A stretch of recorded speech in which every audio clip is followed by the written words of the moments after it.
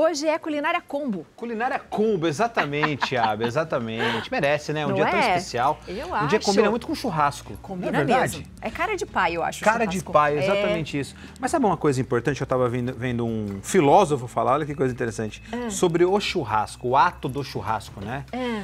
É muito importante ter o ato do churrasco. Você que for convidado para um churrasco, vá. Vá. Porque o churrasco não é só a carne, não é só a cerveja, não é só o espetinho. É você conseguir conversar com os amigos, trocar aquela Exatamente. ideia, dar aquela re- relaxada. E outra coisa, churrasco não precisa ter pressa. Não. Churrasco começa cedo e termina tarde. Porque é um lugar para você relaxar, pra você botar tudo lá que você quer falar, conversar, brincar, zoar, comer. É um dia muito especial. Então, se você for convidado para um churrasco, vá, tá bom? Não recuse esse convite. É, e use isso como ambiente É, mesmo, né? Sem pressa pra comer, vai conversando. É bom demais Ah, churrasco, eu acho, não é? Eu, também acho. gosto, sabia? E eu gosto dos complementos que ele tem também. É bom demais, né? Eu gosto. Maionesezinho, arrozinho. Não é? Ah, é bom. Saladinha. Chefe, eu vou falar as carnes que tem Tá bom. e aí depois você vai falando qual que a gente vai fazendo, Perfeito, tá? perfeito. Porque a gente lá. vai fazer dois em um aqui pra Isso, vocês, pra boa. ficar mais fácil. Boa. Eu já achei interessante essa primeira, que é a bananinha. Bananinha. Bananinha, ca- chefe, a bananinha ela é uma carne que ela é mais em conta? Ela é mais barata, exatamente. Ela é a parte de trás da costela do boi. Encontraram esse corte, Abi, do nada. Alguém falou assim, rapaz, isso tá com cara que se eu grelhar fica bom. E ela fica boa, tá? Eu, particularmente, Leonardo, não gosto muito, vou confessar. É, por quê, chefe? Porque nem toda bananinha é boa, é, fica macia, fica molinha. Tem umas que tem muito nervo, né? Tudo depende também da raça do boi que você vai comprar. Mas assim, é uma carne que tá meio que na moda. é a modinha, é a tal da entendi. bananinha, que é essa carne aqui, ó. Vou até mostrar pro pessoal de Mostre. casa, tá vendo, ó? Tá vendo aqui, ó? Parece, não parece uma costela de porco? É isso que eu ia falar, parece. É a mesma película, tá vendo aqui, ó? Então você, você imagina, você vira a costela do boi, atrás no osso tem esse, essa, esse volume de carne. Então você arranca esse volume de carne, certo? E aí se dá a, a bananinha. Ela vem da costela do boi. É boa, tá? Mas Aham. tem que depender muito da marca que você compra, a procedência da carne, que ela fica interessante.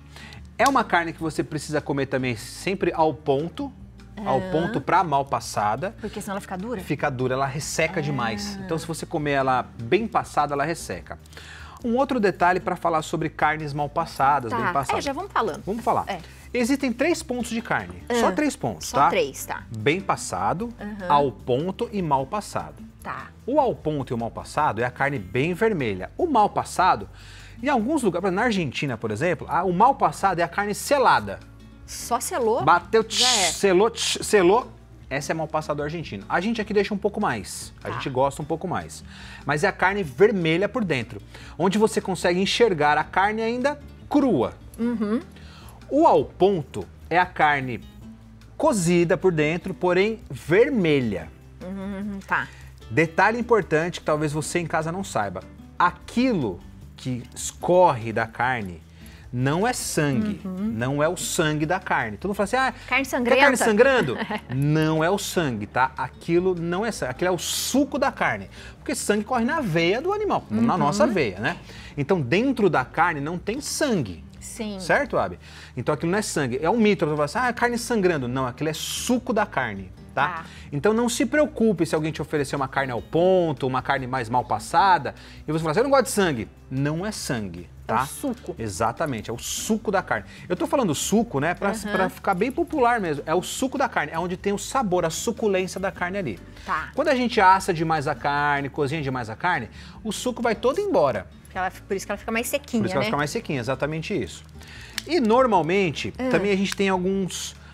Bom, enfim, pra gente não se confundir. Bananinha, tá? Aham. Essa aqui é a bananinha. Então o que, que eu vou fazer? Eu vou botar uma bananinha aqui pra gente grelhar. Ah, já vai começar Pode com ser? ela? Então vamos O que, lá. que você acha? Podemos. Pode ser desse jeito? Pode. Vamos fazer assim? Pode, o Então, ó, como eu não tenho churrasqueira, Aham. né? Eu não tenho churrasqueira E aqui. às vezes o pessoal em casa também não tem. É, exatamente. Eu vou fazer na nossa frigideirona mesmo, tá? Tá. Vou botar só um pouquinho de azeite, pouco mesmo, tá, gente? Pra poder, pra ficar meio que semelhante a um churrasco. Tá. E assim, é, depois, eu, depois a gente, como no churrasco, como no carvão não tem óleo, não tem gordura, eu vou colocar aqui e tal. E ela tem a própria gordura e ela vai liberando essa gordura. Então eu vou botar um pedaço aqui da nossa bananinha. E, chefe, uma pergunta. Diga. Gorduras, eu coloco pra cima ou pra baixo? A gordura sempre primeiro, Abi. Tá. Sempre primeiro, tá? Depois, na- quando eu chegar a hora da picanha, vai ter picanha? Vai ter picanha! Aê! Quando eu chegar a hora da picanha, eu vou explicar o porquê Tá. de colocar sempre a gordura, tá? Então vamos deixar a bananinha aí, dar uma tostadinha de boa. Já vou até pedir pra você tirar a bananinha. Se você encontrar a bananinha no supermercado, compre pra provar. É uma carne que você come ao ponto e mal passada, tá? Ela tem um pouco de um pouco mais de gordura, um pouco mais de nervo, mas é possível a gente comer ela. Tem algumas partes que ela fica bem macia, tá bom? Vamos falar, eu- vamos tirar aqui, ó, Vamos. porque eu vou colocar a tábua aqui pra cima e aí eu vou explicar. Daí você vai pedindo as carnes, É, eu vou passando. aí eu vou te, vou te pedindo, você vai me passando. O queijinho eu vou tirar, esse aqui também eu vou tirar também, porque Tá. esse aqui a gente já conhece bem, né? Que é a tulipinha E o queijinho e o coalho? queijinho coalho e o pãozinho de alho também. Pronto, esse aqui a gente já tira fora. Vou explicar agora a diferença, Abi, do bife ancho Tá. e o bife de chouriço. Boa. Todos eles, Ah. tanto o bife ancho quanto o bife de chouriço, vêm de um único corte, que é o contrafilé. Tá. Tá bom? Então, ó, eu tenho um contrafilé inteiro aqui, beleza? Vou botar uma luva para não sujar minha mãozinha. Aqui, ó. Pronto. Então, nós temos o contrafilé. Do contrafilé, a gente extrai o bife ancho e o bife de chouriço. Existe uma diferença entre os dois. Como que a gente extrai, ó? O contrafilé é essa, essa carne inteira. É Tá. aquela carne que você compra de bife, enfim, esse é o contrafilé. O bife ancho é essa parte aqui, Abi. É mais ou menos uns cinco dedos do contrafilé. É o bife ancho. Como é que você sabe? É a parte mais fina do bife ancho. O bife ancho ele é meio cônico. Tá. Então, assim, a parte mais fina do bife ancho, tá vendo aqui, ó? Não sei se dá pra pegar, mas ele tá cônico aqui, ó. Levemente, mas ele é cônico, tá? Então, a parte mais fina é o bife ancho. E você vai ver a diferença de um corte para outro. Então, eu vou Legal. cortar aqui um- uma fatia de bife ancho, ó. Ó, bife ancho. E tem que ser Esse fatião, aqui. chefe. Normalmente é, Abi, pra gente poder sentir bem a suculência da carne, Tá. né? Pra poder ter ao ponto, bem passado. Agora, quer um bifinho em casa, tal, corta mais fininho também, também Não resolve, tá? Não tem problema. Então esse aqui é o ancho. Tá. Agora eu vou cortar o bife de chouriço. Tá. Que é a parte mais larga. Que é a parte mais larga e também é a parte um pouco mais resistente. Eu gosto mais do bife ancho, tá? É porque ele foi bem maciozinho mesmo do jeito que você cortou. Exatamente. Você tá vendo a diferença das duas carnes? Ó, vê se dá pra você sentir a diferença das duas carnes. E que doido, porque é do mesmo lugar. É do mesmo lugar. Então o ancho ele é menorzinho, mais redondinho. E as terminações de gordura dele é diferente. Tá vendo aqui, ó? Isso aqui caracteriza. Legal. Tá vendo isso aqui, ó? Caracteriza que ele é um, é um bife de chouriço. É esse aqui. É daqui que eles extraem os bifes que a gente come, o bife do dia a dia. Do dia a né? dia. E o bife ancho é essa parte aqui. E essa parte externa do bife ancho é a parte mais suculenta. É o mais gostoso. Isso que está entre as carnes a gente chama de marmoreio. Quanto mais marmoreio tem essa gordura branca aqui, mais macia a sua carne vai ficar. Que legal. Entende? Ela vai ficar muito mais macia e muito mais gostosa. Quanto mais marmoreio tem, mais macia a sua carne fica, tá? Vamos virar a bananinha. Gostei. Aqui, ó, que belezinha. Já aprendi virando a bananinha aí, ó. duas hoje, hein? Não é verdade? Muito então, legal. Então, tanto o bife ancho quanto o bife de chouriço, quando você for no, num restaurante, uma churrascaria, é bife ancho, é contrafilé. Bife de chouriço também é contrafilé, Uhum. Contrafilé. tá? Mas a gente dá o nome do contrafilé quando a peça está inteira. Quando a gente desmembra, ela muda de nome. Vira bife de chouriço de um lado e bife ancho de outro. outro. Tá? Beleza? Beleza. Então a gente vai por ali também, ó. Aqui, ó. O bife ancho. Eu tô usando um pouquinho de sal médio, nem grosso nem Ah, fino, legal. tá? Ó, E é só isso, chefe? só isso, Abi. Carne de churrasco é só sal, nada Tá. mais, tá? Tem algum corte ou outro, por exemplo, a fraldinha, se quiser passar uma mostarda ali no final, beleza, funciona, tá? Mas normalmente carne assim é pra gente provar a carne mesmo, pra sentir o sabor, sabor da da, carne, carne. Exatamente. Então, ó, coloquei o ancho e coloquei agora o bife de chouriço, tá? Boa. Eu vou deixar grelhando aí de boa. Obrigado. Vamos agora para aqui, ó, esse aqui também é um bife de chouriço, tá? Que normalmente você encontra no mercado desse jeito, ó. Tá vendo aqui, ó? Ah, Tá bom? Que é a mesma coisa. Eu trouxe inteiro para você entender a diferença de um para outro, beleza? Isso aqui a gente pode provar para lá também. Vamos agora dela, a picanha. A picanha, que é um corte brasileiro, tá? Em outros países não se corta picanha. Na Argentina se corta picanha graças a nós, no Uruguai é a mesma coisa. Então você encontra hoje picanha argentina, picanha uruguaia, porque a gente gosta muito. Então para eles exportarem, eles fizeram um corte picanha, né? Nos Estados Unidos não tem o corte da picanha. É uma outra forma. É uma outra forma que eles cortam, enfim. Cada, regi- cada lugar tem uma maneira uma diferente maneira. de você destrinchar o boi lá. Essa é a picanha, que é paixão nacional. Todo mundo gosta de picanha. Detalhe sobre a picanha que é muito importante. Ela tem três terminações aqui, ó. Tá vendo isso aqui, ó? Ó. Esse dá pra ver aqui, ó. Esse aqui é uma. Ela tem outra aqui e ela tem outra aqui. Se isso aqui, Abe, dessa terminação, tá pra cá, mais ou menos aqui, assim, uns cinco dedos, é colchão duro. Daqui pra cá é colchão duro. tá. Daqui pra cá é picanha. Detalhe importante, quando a picanha é muito grande, tem colchão duro nessa picanha. Normalmente uma picanha Daí boa, a gente ela... fala que ela é falsa. Exato. Não, é que assim, o colchão duro ele começa aqui, né? Então tem que ser bem rente aqui, ó, Senão a essa terminação. Exatamente. Tá vendo aqui, ó? Tem uma aqui, ó, ó, uma aqui, outra aqui, tá? E outra aqui, ó. Então assim, ela tem que ser bem rente à primeira. Essa primeira veinha aqui, ó. Quando ela é bem rente à veinha, daqui pra cá é picanha, daqui pra cá é colchão duro. Então, muito importante, cuidado quando você for comprar com picanha muito grande. Ah, minha picanha tem 2 quilos.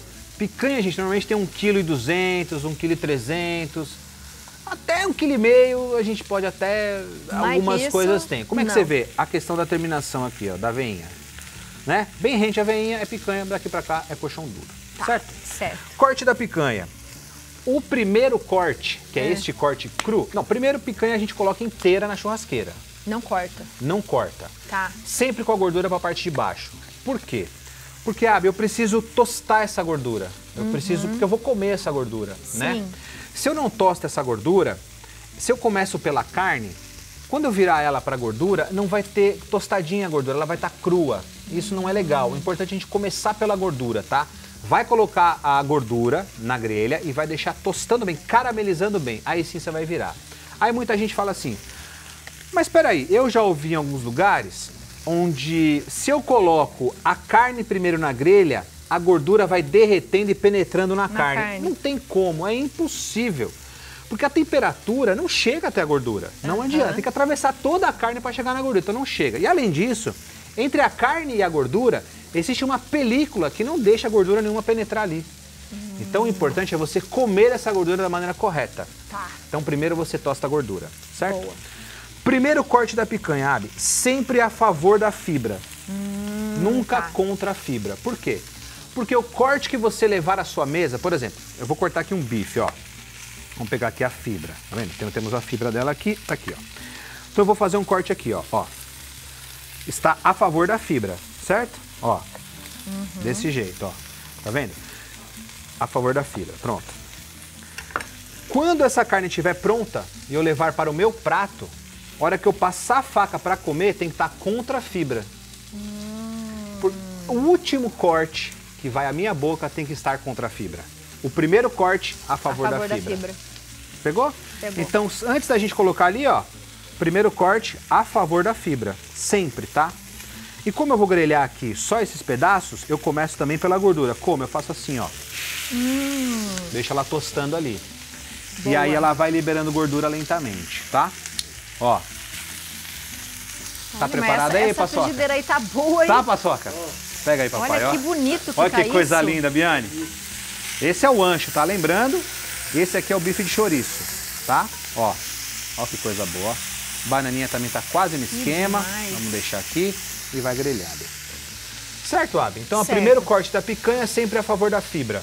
O último corte sempre contra a fibra, que é o corte que a gente vai cortar ali no garfo e comer na nossa boca. Boa. Beleza? O cheiro fica muito bom, Léo. Tá, não tá? Não adianta que cheiro de picanha é cheiro Ah, de picanha, é, não é? É tão gostoso, né? Pra gente finalizar, Abi, as É. carnes, eu vou do coração. Coração Tá. também, acho que todo, muita gente gosta de coração, Um eu gosto bastante. Bem gostoso, né? E tem a linguiça. Aí, Abi, tem os, os complementos, né, O que, a gente que tem fala. que não pode Vou- faltar Vamos ver numa aqui, ó. Por exemplo, numa ó, churrascada. eu gosto muito do pão de alho. Tem pão de alhos bons no mercado hoje Tem que você mesmo. consegue encontrar. Mas se você quer aprender a fazer um pão de alho, a gente ensinou aqui no programa, tá? Pra Pastinha, churrasco. tudo. Exatamente, tá?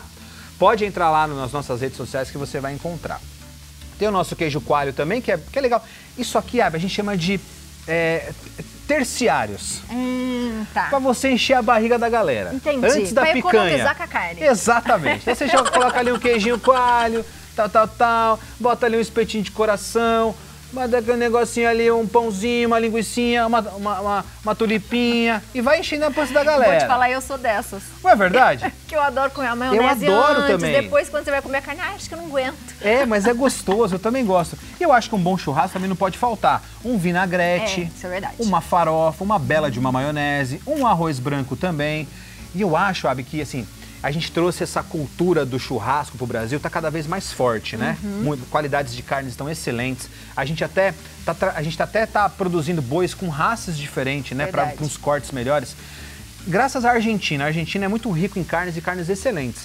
E a Argentina exportou pra gente o chimichurri, que pra mim é um molho delicioso à base de várias ervas, Aham. vários condimentos e temperos que combina demais com carne. Qualquer carne, chefe. Qualquer carne, Abi. Eu acho que combina com peixe, combina com carne de porco, com frango, independente. Ele tem um pouco de pimenta seca, Ele aí é tem, tem manjericão, tem tomilho, tem cebola seca, tem alho seco, tem salsa, cebolinha, tudo seco. É muito fácil de fa- de fazer o chimichurri. Você compra seco, você pode comprar isso aqui hoje, tem em qualquer Aham, lugar. E cobre com azeite, cobre uns dois dedos a mais, porque isso vai absorver o azeite. Uhum. E aí vai deixar esse molho maravilhoso. Tempera com um pouco de sal, porque não tem sal. E aí você pode escolher colocar na carne que você quiser, que fica muito bom. Inclusive até com pãozinho de alho fica top. E assim, pergunta que não quer calar. É. Eu coloco depois da carne pronta ou já eu posso colocar na carne Não, fazer? depois da carne pronta. Ah, porque vai queim- pode queimar os, os temperos, né? Uhum. Saiu a carne, bota de ladinho. Igual a gente fez ali, ó. Bota por cima, Boa. serve ali pra quem você tá convidando na sua casa tal, enfim. E aí fica uma delícia. Eu acho que o chimichurri também é uma bela de um acompanhamento. Eu acho que isso aqui é um, é um churrasco Churrascão. paulistano. É, gostei. paulistano. Acho que São Paulo a gente faz churrascos assim. No sul, o churrasco é um pouco diferente. É, É um churrasco de chão, é diferente. Tem muita costela, que é uma delícia, né? Muito, Sai derretendo. é bom demais também, né? É. Muito bom. E assim, eu acho que o São Paulo a gente faz esse churrasco mais completo, né? Com pãozinho de alho, com... Gringo fala isso, né? Que a melhor comida do, do Brasil é o churrasco, né? Churrasco. Porque o nosso churrasco é completão. Enfim, eu acho que não pode faltar isso aqui, no Nossa, nosso aí churrasco. arrasou. Legal, né? Chefe, tem perguntinha pra você. manda lá, deixa eu só virar Coloca aqui a pra picanha. gente, Mai. Manda ver.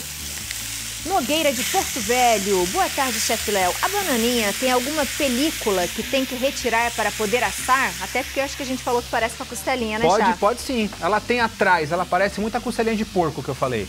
Pode, ela tem uma película. Se você conseguir tirar de boa, ele pode tirar que vai facilitar pra você comer, tá? Boa. Boa, boa pergunta, boa pergunta. Tem mais uma? André Araújo. Ah, o André. Olá, Santa Receita. Como manter a suculência e dar maciez com carnes assadas como costela e cupim? Essa do cupim é interessante, chefe. Boa, André. André, E aí? é o seguinte, carnes duras, Ah, cupim, costela, baixa temperatura e bastante tempo de cocção, bastante tempo de cozimento. Tem que fechar muito bem essas carnes. Tá. para ela poder cozinhar dentro do próprio molho, dentro do próprio suco. É assim, ela não vai perder a suculência. Então, quando você for fazer um cupim, por exemplo, sempre na parte alta da sua churrasqueira, enrola bem com, com, com plástico próprio para churrasco, Boa. papel alumínio, para que não vaze nada, Uhum. nenhum líquido. Coloca lá em cima. Agora você espera, hein, bicho? Pede Demora pra Samires aí horas? preparar um rango bom pra você aí. Demora 5 horas, hein? Se for fazer direto na churrasqueira, tanto a costela quanto o cupim, demora 5 horinhas aí. Mas vou te falar, Fica bom. depois... Uh, Fica demais, tá? Enfim, e aí você vai fazendo dessa forma. Como a carne é mais dura, ela demora um pouco mais para cozinhar. Demora, passou essas 5 horas, André, você tira do papel, não desperdiça aquele caldo, aproveita aquele caldo, coloca ela mais embaixo para grelhar e aí vai besuntando um pouquinho daquele caldo por cima, aquele caldo por cima que ela vai ficar deliciosa. essas outras é pra tirar, chefe? Pode tirar, Biano, pode tirar. Ó, vou tirar aqui o ancho, tá aqui. E vou tirar também o bife de chouriço, tá? O ideal aqui, gente, é o descanso. O segredo da suculência da carne é o descanso. A carne precisa descansar pelo menos uns 5 minutos. Super dica. Não tem jeito. Por quê? Super dica. Porque, Abi, a gente precisa manter a suculência da carne dentro da carne. Quando a gente. Se eu cortar aqui agora, É. vai jorrar o líquido. Se eu cortar daqui 5 minutos, você vai ver só que tudo vai se encaixar novamente e a carne vai voltar a ficar suculenta. Quando a gente corta e vai embora, tudo que a gente está desperdiçando ali é sabor. Tá tudo ó, indo embora, vazando. Não é legal. Então a gente precisa esperar essa carne descansar um pouquinho, tá? Tá. Eu tirei a bananinha um pouco antes. Eu vou cortar aqui pra você provar, tá? Tá. Vou até cortar mais fininho. Aqui o pontinho dela, que bonitinho, ó. Tá vendo, ó? Ponto certinho, ó. Ó que beleza. Bom, né? Ó. Cortar aqui uns pedacinhos pra Biane provar da bananinha. Esse frisson Ah, ela tá maciazinha. tá macia, viu, Abi? Eu acho que É. você vai gostar. Ó, vou botar aqui uns pedacinhos pra você. Pra você provar. Prove da bananinha, que é muito boa. Eu particularmente gosto. Assim, não é a que eu mais gosto, tá? Não é a que eu mais gosto. Mas tá muito boa. Porque ela tem umas partes mais resistentes, não tem? Tem. Mas ela é boa. Ela é uma boa. costela, pra você assar ali na hora, pô, é top, tá? E é barata, não é tão cara, não. Ela é tem mesmo. Você sente que ela tem umas partinhas mais firminhas. Deixa eu botar aqui um molinho pra você, né? Arrasou. Hum, mas é muito boa. Pera aí, Biane, ó. Temos tudo, Biane. Tem Temos maionese, tudo aqui. Tem moço? maionese. Ó. Ó, maionese você. Pronto. E um pouquinho de Vinagrete, hein? vinagrete. Você tá de Pronto. parabéns. Tá de parabéns. E aí, ó, vamos botar um pouquinho de chimichurri também em cima dessa carne aí. Pra ficar mais gostosa ainda. Ó. Ó que beleza. Certo? Certo. Agora eu vou cortar o ancho. Vamos começar pelo ancho, tá? Tá. Que não é, é esse aqui, ó. Você tá igual o churrasqueiro. Você só tá servindo o povo e não tá comendo. Só servir. É, churrasqueiro não come, exatamente. Churrasqueiro só serve, tá? Ó. Olha que linda essa carne. E Olha a maciez, tá? Olha a maciez dessa carne, Escorregou exatamente. Ó, ó, ó. Então esse aqui é o ancho, Abi. Você vai ver só a diferença de um para outro, tá? Vou colocar aí pra você. Peraí. Coloca pra você também, Vou moço. pôr, vou pôr. Ó. Prova Nossa, ela é aí. muito macia. Você vê ela já no prato, a, a diferença. Bom demais. Pra mim aqui também. Pronto. É Vou muito cortar um macia pedacinho. mesmo, hein? Eu adoro ancho, sabia? Sabe que na minha cidade tem um lugar que vende, é especialista em ancho, e é muito bom esse corte. E não é caro, viu, Abi? O ancho não é uma carne cara. Se você comprar com uma procedência boa, uma procedência legal, pode confiar que é uma carne decente, tá? Nossa, Léo, que delícia. Não é bom, Abi? Nossa, é Gostoso, né? Arrasou. Ela é muito macia, muito É. saborosa. Meu pai deve estar olhando, meu padrasto deve estar olhando em casa agora e falando assim: olha ela comendo a carne mal passada. tá deliciosa. Mas é bom, não é? Ó. Muito bom, viu? E ó. Vamos ver se dá tempo da gente provar a picanha também. Vamos deixar aqui, ó, descansando. Tá. E é isso. Então, vamos fazer o Churrascão, seguinte. dia dos Nossa, pais. isso aqui tá incrível, tá? Já que é dia dos pais, já que é churrascão, Boa. tá uma delícia. Você acredita É o quê? que a gente É tem o quê, Viane? visita aqui? É, eu vi, Viane. Olha lá. Vem cá, vem cá. Oi, meu amor! Coisa linda do papai! Ai, que sorriso! Olha só! Ah, vem cá o papai, vem cá você, vem cá. Meu Deus! Vem cá, vem cá. Será? Vem! Será? Eba! Olha aqui, gente! E olha o que elas Ó. compraram pra Oh, você. obrigado! Olha só! Oi, meu amor, você ficou linda com esse Presente Gostou? da Tiabe. Tiabe que deu o vestidinho, ó, coisa linda. Tadinha, ela tava dormindo, tá toda... Oi, Clarinha. Aqui, gente, ó. Gente do céu, ó, presente, Meu chefe. maior presente. Ó, esse aqui também é bom. Esse aqui, presente aqui é bom também, olha só. Ó, obrigado, vocês são demais, viu? Muito obrigado pela surpresa, adorei. presentão Ó, bonito, meus bebezinhos, olha vendo? isso. Muito obrigado, Gente, elas viu? são muito lindas. Ó, Ju, a gente não vê a hora delas chegarem cá, aqui correndo. Vem, Juju. Vem pra cá, vem pra cá, Juliana. Deixa eu pegar uma. Olha que delícia. Feliz dia dos pais, viu? Primeiro dia dele com...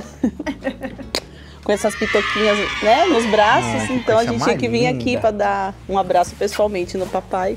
E Que desejar gostoso. Feliz dia dos pais pra todos os papais todos que estão assistindo. Com certeza. Oi, Meu. Deus, elas estão lindas demais. Então, arrasaram, né? Com o look da tia Bibi, ó. Demais, Gente, elas demais. ficaram muito lindas. Mais bonita do que eu imaginava. Vamos comer carne? Vamos? Não pode ainda. Ainda não pode. ainda. Mas seu pai Ainda tá não doido pode. pra dar comida pra vocês. Tá sim. Obrigado, viu? Adorei a surpresa. Ó, um beijo para todos os pais do Brasil. Muito, muito, muito emocionado mesmo. que Realmente, não é o meu primeiro dia dos pais, que eu tenho outras duas filhas que são minhas filhas de coração. Amo demais as duas também, a Rafa e a Isa. Um beijo para vocês. Mas esse aqui é um Dia dos Pais muito especial, com essas princesas aqui, ó. Com a Clarinha, com a Sarinha. Muito obrigado, muito obrigado a vocês que nos acompanham também, tá bom? Obrigadão demais, vocês são incríveis. Um beijo pro meu pai também. Pai, feliz Dia dos Pais, meu queridão. Beijão, te amo, viu? Amo todos os pais desse Brasil inteiro. Ai, que delícia, gente. Coisa Palmas linda, para coisa todos linda. Tchau, papai. Parabéns.